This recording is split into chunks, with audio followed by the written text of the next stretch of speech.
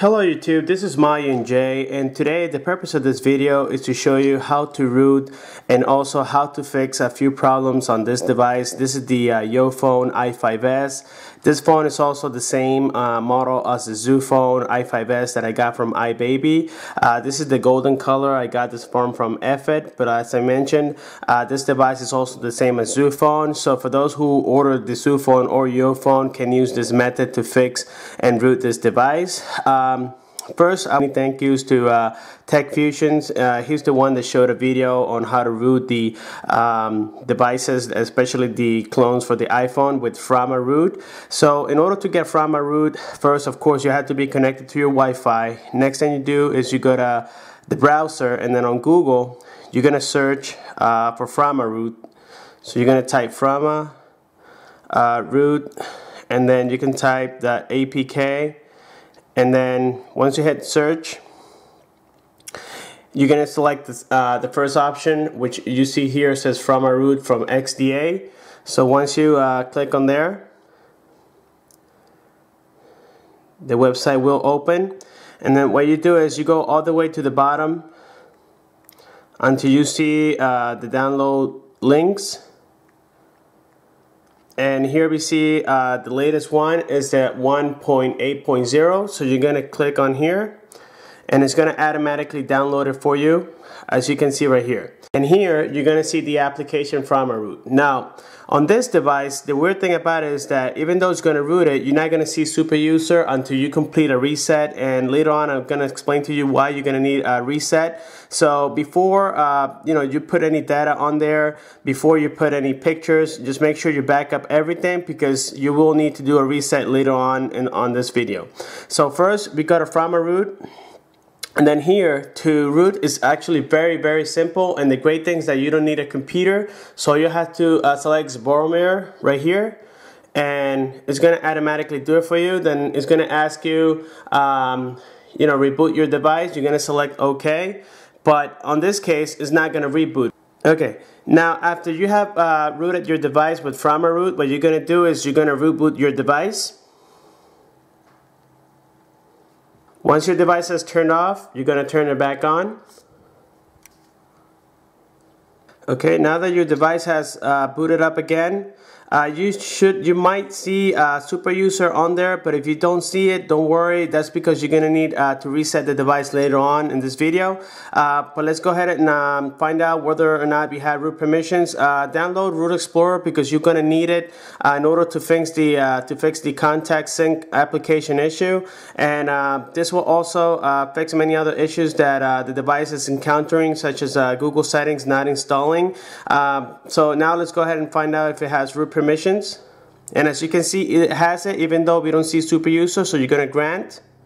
Alright, now next thing you're going to do is you're going to need to install about six um, applications into the system. So I'm going to be providing a link below. You're going to download that zip, um, the zip file into your desktop and you're to extract it just the way I did here on my computer, which I'm going to show you right now. The zip file is going to look just like this. So what you're going to do is once you download it, you're going to extract it and then you're going to transfer these files into your phone. Once you have done that, um, what you do is now you're done with your computer. So now you come back to your device and what you're going to do first is the following. You're going to go to System, you're going to go to App, and here you're going to select, you're going to tap on this uh, little blue icon until it says RO. That will allow you to uh, delete the following applications and what we're going to delete first is if you scroll down, you're going to see uh, the vending application, which is called uh, PhoneSky. And you're going to go ahead and hold it. And then you're going to select, it's pretty hard to say here to read this, but you're going to select delete. And then the system is going to ask you whether or not you want to delete it. You're going to select yes. Now, once you have done this, uh, now the following steps are easy. So what you do is now you got to search on your SD card for the G apps that we already put into the SD card. So we're going to go back and then I have it on my uh, second SD card, the one that is installed on the device. So I'm going to go to MT and then SD card number two. And here you can see that I have the G apps. So you're going to open it And these are the uh, six applications that you're going to have to install. All right, now the only thing is that you're gonna have to do them all manually. So the first thing we're gonna start is with the uh, Google Services Framework. So you're gonna highlight it and hold it, and then you're gonna select copy. Once you select copy, you're gonna go back uh, until you reach the main page.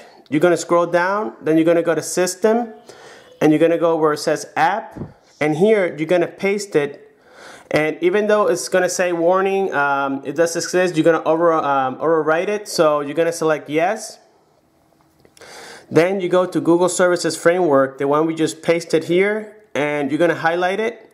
And you're to select permissions, and you're to select the following permissions. This is the same permissions that you're to use for all six applications. So if you guys like, I'm to do it one by one, but you can fast forward this. You're to do it for all six, and you're to transfer them here into the app um, folder.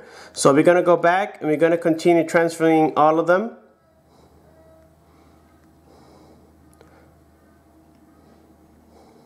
Now we're going to do the Google Partner Setup, that, that APK. So same thing, we're going to select copy. And we're going to go to System, App. We're going to paste it. And then we're going to find it and set up permissions.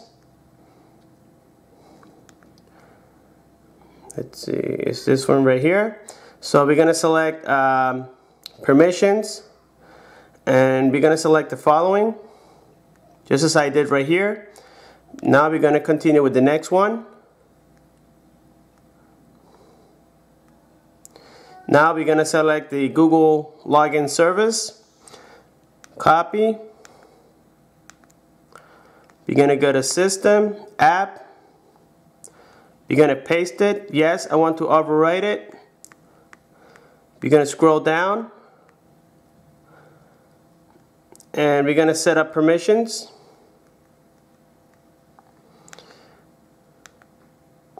We're almost done here.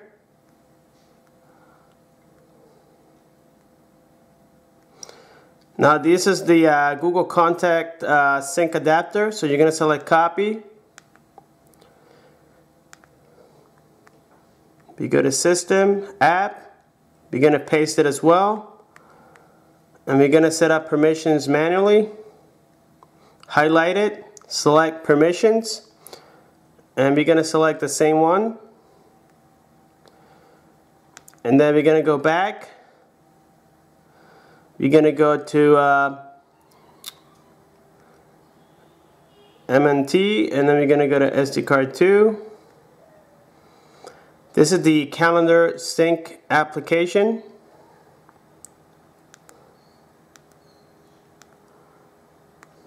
System, app, we paste it, scroll down, behold it, uh, we put permissions,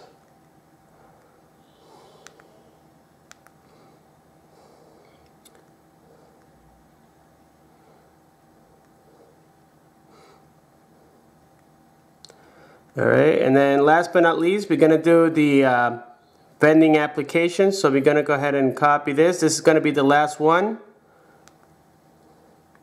And we go to System, App, Paste.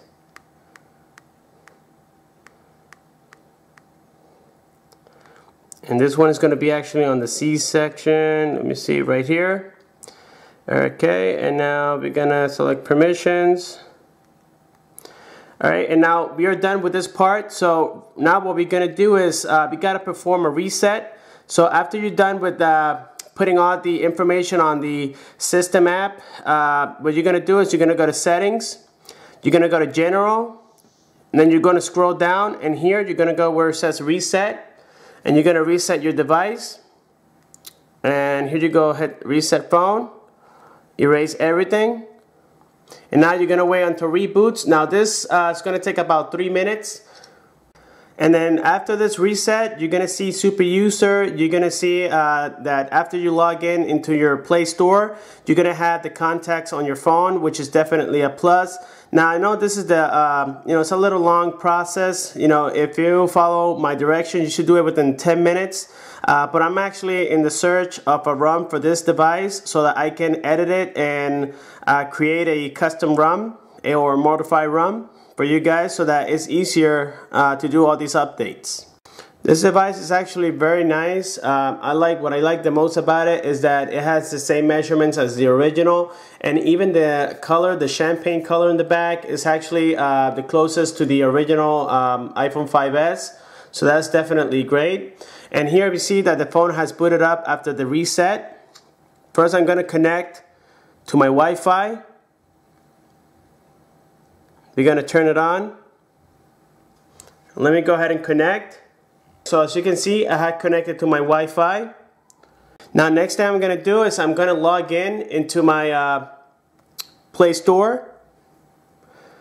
So here I have logged in into my App Store, Play Store actually.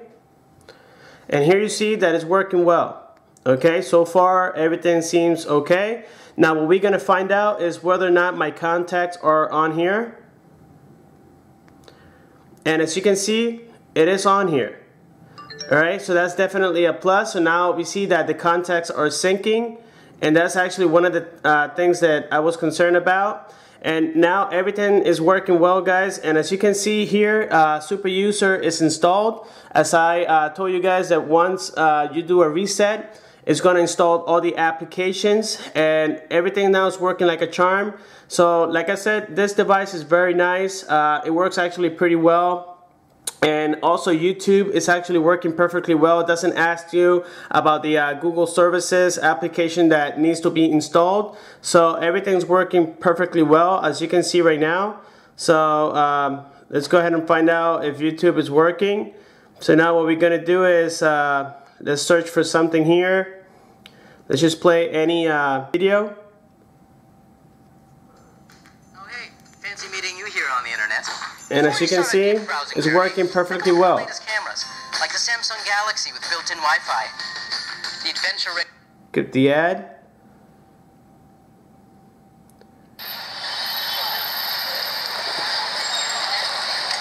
So YouTube is working perfectly well. I'm very happy for this. And uh, this fix came um, automatically after I did the uh, contact sync application fix. Uh, YouTube started working, so I didn't uh, do it uh, purposely, but everything's working well. So that's it for this video, guys. Uh, please let me know if you have any questions. Uh, subscribe for more, comment below, and have a good one.